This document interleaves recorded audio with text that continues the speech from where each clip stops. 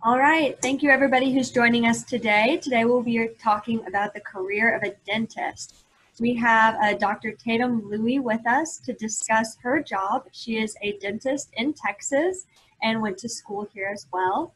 And she's just going to give us a little overview about what got her interested in being a dentist and what does it mean to be a dentist. Yeah, all right. Um, well, thanks for having me today. So, what got me interested in being a dentist was I always knew I wanted to be in healthcare. I always wanted to be able to help people. Um, and my aunt was actually a hygienist, so she was the one that introduced me mm. to teeth and all of that. And uh, so yeah, from there it was it was a pretty easy decision for me. And uh, we'll kind of get more into what all of that means. But really, at the end of the day, a dentist is really looking at the teeth, looking at pathology, screening for cancer, um, looking at the jaw joints, things like that. Um, you know, we, we help patients that have toothaches, whether they need extractions or root canals, crowns, fillings. Um, and then we get to do some of the fun cosmetic things like veneers and whitening and all of that. So there's quite a bit to do with dentistry. It's pretty um, encompassing and every day is a little bit different, which is always exciting. That's awesome. Did you always like teeth? Uh, not really. I mean, if you can get past the saliva and the spit, then you're you're good to go. All right. Well, can you tell us about what your typical day is where you work? Yeah, yeah. So normally we work eight to five. It's a pretty stable type of you know work life balance, which is nice. You get generally you always get an hour lunch break um, and then every day is, like i said it's a little different. So maybe you'll do some exams you'll do some cleanings you'll do a couple of extractions you know maybe you'll adjust a denture um, give some invisalign trays see how those are tracking. And so every day is a little bit different but pretty much without without change if you you know work eight to five you're, you're done when you go home which is nice. You don't have to take work home with you that is very nice. And do you normally work all the days of the week? Yeah, that's a good question. So it really depends on what position you're in, but most docs work between three to five days a week. It's really what kind of lifestyle and what kind of income they're hoping to accomplish. So some doctors will work on Saturdays um, and then maybe take a day off during the week, which is what we do. Um, some days they'll work kind of later hours, so maybe they'll work 10 to 7 and give some later appointments for patients after work. Um, but that's kind of the nice thing about dentistry. You can set your hours and um, go from there. All right. Well, how many different types of jobs are in your field of work and what are they? Yeah, so there's there's quite a few. I'm a general dentist, which means I do a little bit of everything.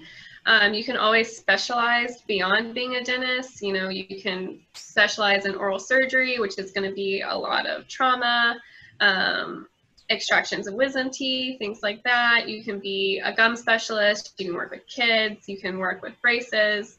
You can do pathology. Um, all of those are kind of specialties that require a little bit more schooling, which we can touch on that later.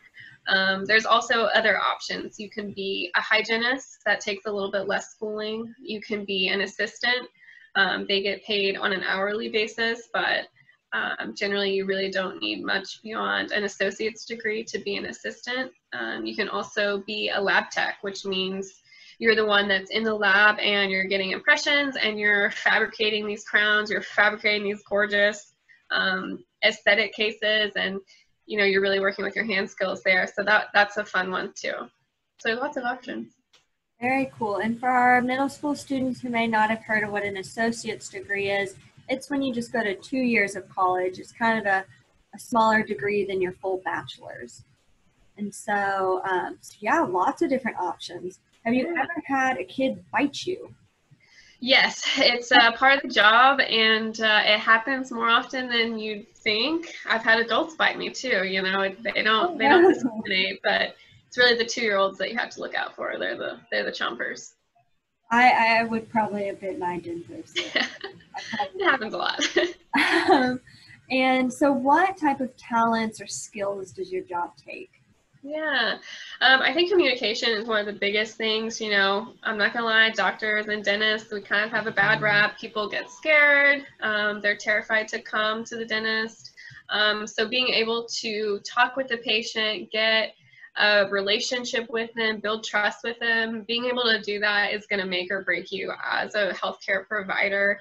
Um, if patients don't trust you, they're they're not going to believe you. They're not going to do any of your work. So being able to communicate and have empathy and just kind of communicate what you're wanting to do is really big. Um, another thing would be, you know, fine motor skills, working with your hands. You know, you kind of have to be an artist a little bit to be a dentist. You know, you're you're building teeth out of nothing sometimes. So you're working on these tiny little teeth in the back of the mouth, and you know, you're working with a mirror, so things go the opposite direction when you look in a mirror. So you really have to have some spatial awareness and and hand-eye coordination. Um, so art is plays a big role in it. Um, and then I think the last thing that most people maybe don't think about is probably critical thinking. So when a patient maybe has a broken tooth, there's so many ways that you can fix it, repair it, um, extract it, replace it. So kind of thinking about your patient and you know factoring in their their finances, their ability to you know receive treatment, their medical background, you know those all kind of take things into account. You know, with medical, you kind of have maybe one way to fix a patient at the end of the day, but with dentistry, you have so many options. And so it's kind of your job to facilitate those options and which one's best for the patient. So, yeah. And how has your life and interactions with patients changed since the pandemic? Yeah, um, so patients have been a lot more hesitant to come in. You know, they don't want to leave the house, which makes sense. But um, really at the end of the day, our schedules have just kind of been pulled out a little bit. We're not seeing as many patients a day so that we can do all the proper cleaning, um, changing of all of our PP between patients, you know, between the gowns and the masks and um, all of that. So it's it's changed quite a bit, but slowly but surely getting back to normal. Good. Um, and are there any limitations on your personal or your social life uh, to your job?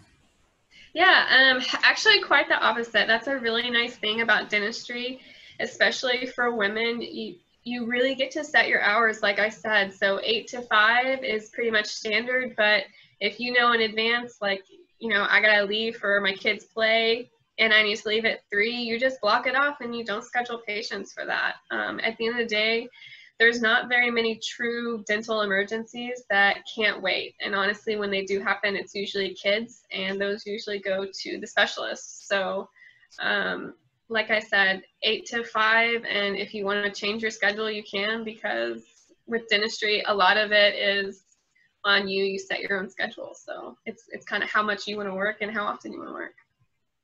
Awesome. Um, what are some things, maybe you've talked a lot about the things you like in your job and what's attractive about it. What are some things you don't like as much? Yeah, um, so sometimes patients come in, like I said, they're scared, they're in pain, and sometimes that doesn't make people very nice or very grateful. Um, so sometimes they're a little bit ruder or maybe a little mean, and you know, you kind of have to not take that to heart and not take it personally and kind of understand where they're coming from. You know, they are in pain and they are scared. Um, so it's still kind of your job to do the best you can and treat them with kindness and and do everything you can to help, even if you don't like them very much. So that that can be hard sometimes. Um, and I think a lot of dentists tend to be perfectionists. Um, so they want everything to be the best as they can, the best as possible. And sometimes the conditions just aren't that great. And sometimes your best is not not as great as it always is. So that can be really hard just trying to be perfect in an imperfect world sometimes. That is true. I I fully agree with that. Yes. and just to talk a little bit now about some of the education and training you need to be a dentist or some the job other jobs you're talking about as well.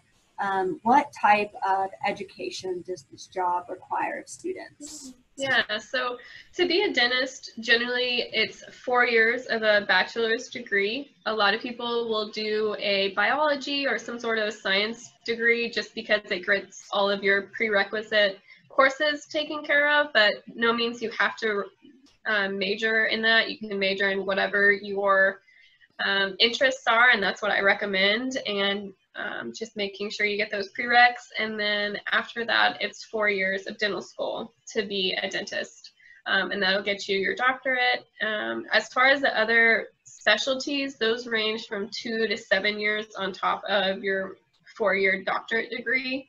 Um, hygienists, they have a couple different programs, so they kind of combine their bachelor's and their two-year hygienist degree. Sometimes you can squeeze it down into four past high school. Um, so there's a lot of different routes you can do for a hygienist. And then for the assistant, like I said, um, it's either a two years associate degree. Sometimes you can get just your high school um, diploma and you can go to a dental assisting school that's only a couple of months. Um, sometimes they're online. So there's a lot of different schooling for dental assistants. Um, and then lab techs are kind of like a technical school that you would go to after you get your high school diploma. So lots of different degrees. You can go to school forever if you want, or there's other options that are much less cool. Awesome. And if you, you know, we're talking to a middle school or high school student, is there any way, how would you suggest for them to kind of figure out maybe if this is something that they would like? Yeah, I would definitely say your best option would be reach out to your dentist, reach out to any dentist in your area, tell them you're interested, and they, most dentists would love to have you in the office, let you shadow, let you take a look around. Um, and I would definitely recommend that if you think you want to be a dentist, make sure that you're okay with a little bit of blood and a little bit of spit and maybe someone biting your fingers every now and then. Um, just make sure that it's something that you can handle and um, make sure it's something that you think you're interested in. But you'll see quite a bit if you follow a dentist around for a day, and that'll give you a really good idea. Awesome. And what classes and courses should a student take to prepare for this career? Yeah, so I mentioned the um, biology degree is kind of the easiest as far as getting all those prereqs taken care of. Um, art classes are really helpful, like I talked about. You're kind of an artist at the end of the day, so anything working with your hands, fine tuning those hand skills, um, like maybe a potting class, something like that, that'll be helpful. And then the biggest thing I would recommend is business classes. Um, dental school is going to provide you with the all of the knowledge to be a dentist, um, but they don't teach you how to be a business owner. And that is one of the really good opportunities that comes with being a dentist is you can own your business and then all the freedoms are with you. You make all of the decisions. Um, but like I said, you don't have a business degree from dental school. So a lot of that, if that's the route you want to go, it's really important to kind of try to learn as much as you can. Yeah, that's true. The business degree, a lot of people don't think about that, uh, that part of it always, or you know, doing some business classes to understand. Um, and so, for your working conditions, is do you work a lot of times with other people, or are you by yourself? Yeah, um, that kind of depends again on what kind of position you have. Right now, I work in a solo doc office, which means I'm the only doctor in the office. Um, so I see all of the patients. We're also a newer office, so we don't have a hygienist, which means we do um, all the cleanings ourselves as well. Um, so there's kind of pros and cons for that. I'm able to see the patients a lot more one-on-one, -on -one, so I get to kind of build a little bit more rapport with them while I'm cleaning their teeth. And it's kind of an, an easy way to relax and unwind a little bit with a cleaning and take a break from all those extractions. So it's kind of nice with all these different things you're doing and working with, are there any, you know, health hazards in your job? Yeah. Um, so obviously with COVID, uh, dentistry is kind of one of the higher risk positions now with all the aerosols, which essentially is just kind of droplets from the patient's mouth and it has any bacteria or viruses that are in their mouth um, and they tend to go in the air. So right now that's kind of the biggest concern. That's why we wear like I said, the surgical hat, the gown, the gloves, the two masks, the, everything. So that's one of the big ones. Um, needle sticks sometimes also is a concern. You know, if you inject a patient with a needle and then you stick your finger with the needle, then any pathogens or illnesses that that patient have, they can be transferred to you. So being careful with your scalpels and your needles, that's always a big um, health concern. And then the last one is really your neck and your back, you know, leaning over patients all the time um, really, really wears on your back at the end of the day. So that's kind of one of the main things that keep doctors from practicing is back pain. So it's really important to be healthy, you know, strengthen those muscles, stretch, um, and just be active and try to be as healthy as you can so you can practice as long as you can. Um, okay. Um, and what do you do? You do any type of exercises or working out to help make sure that sitting like yeah. that? Well? Yeah, I kind of play around with a lot of different things. You know, yoga is nice to kind of clear your mind and relax. Maybe you had a troublesome patient that's like really weighing you down, and so yoga is nice to just kind of let it all go um, and not take work home with you. Pilates is nice because it's a really nice stretch, um, and you know, running is always good for the good for the heart. They say. And um, do you in you said you know you work a lot of dentists work in a practice and things like that. Some of them are groups, some of them are independent. So do you work for yourself or for someone else?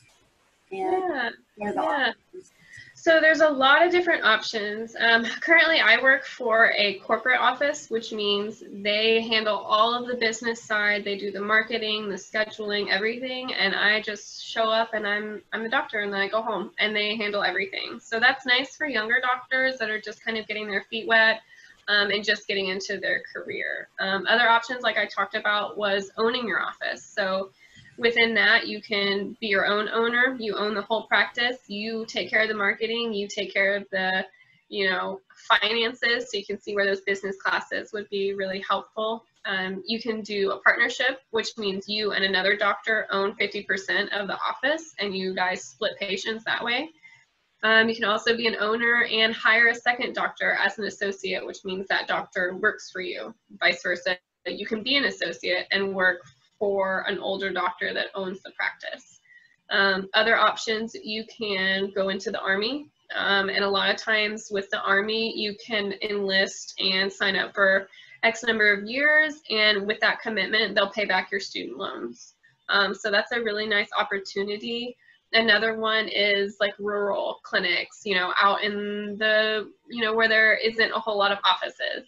If you'll commit so many years there, then they'll pay back your student loans. And so there's a lot of really good opportunities there. Um, you can also be a hygienist, like we talked about. You can do research. Um, you, once you get your doctorate, you can go into research if you want. You can also teach. Um, a lot of doctors that end up having health problems, they can't practice anymore, they go into teaching. And a lot of doctors go directly into teaching. If that's their passion and that's what they want to do, then um, that's another option as well. Awesome. So yeah, lots of different things and a lot of ways to get help too with not having to have student loans or if you know you don't have as much money to be able to go to school and college and different things. It sounds like there's a lot of options. Yeah.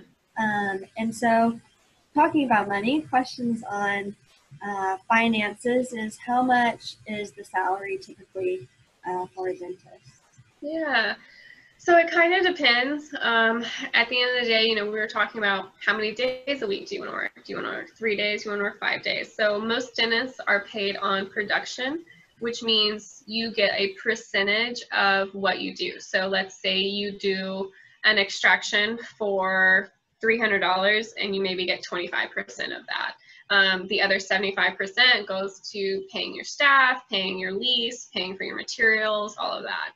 Um, that's kind of generally how it goes for an associate and for a doctor that works for a corporate office. Um, if you're an owner, it's a little different. If you're an owner, you pretty much pay everyone. You pay your lease, you pay for all your materials and your staff, and whatever's left over, usually a lot higher than 25%, then you get that. So generally, owners make quite a bit more, um, depending again how often they're working. But ballpark, usually right out of school, you're making about 150,000 and then it just kind of goes up from there depending on how quick you are, how many days you're working, all of that. So it really it really depends, but you can definitely expect six figures and, and paying back those loans pretty quickly. Awesome. And um, so you kind of explained how the different types of payment works. Um, as well. So that answered my, my last question too at the same time. Um, and I think it's just kind of our final question just for a student who is considering this as something maybe I'm interested in or feel I'd like to go into, what is your advice for them to pursue this?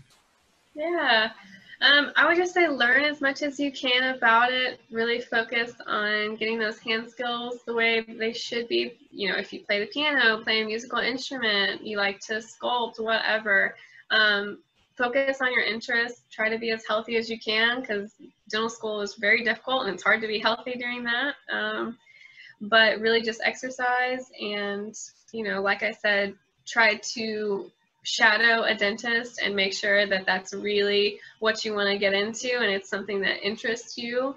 Um, you know, it's a great profession to be in, but if you're not interested in it, then it's not going to be, it's not going to be worth your while. You know, you really have to enjoy what you do and, and love it at the end of the day because it is hard. And if you don't love it, then you're going to burn out really quick. So try to get as much exposure, talk to dentists, talk to hygienists, see what they like and you know if it's if it's right for you.